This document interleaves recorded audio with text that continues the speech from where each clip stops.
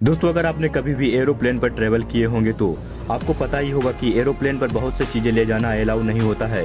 और उनमें से एक है मर्क्यूरी वाला थर्मामीटर। जी हाँ आप इसे प्लेन पर नहीं ले जा सकते हैं। और रीजन यह है कि प्लेन का अस्सी प्रतिशत पार्ट एल्यूमिनियम से बने होते हैं।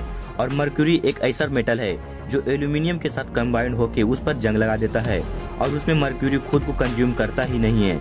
और ये तब तक एल्यूमिनियम को गलाता रहता है, जब तक कि एल्यूमिनियम पूरी तरह से पिघल न जाए। और ऐसे में गलती से भी मर्क्यूरी की छोटी सी बूंद एरोप्लेन पर गिर जाए तो आप सोच सकते हैं कि क्या हाल होगा।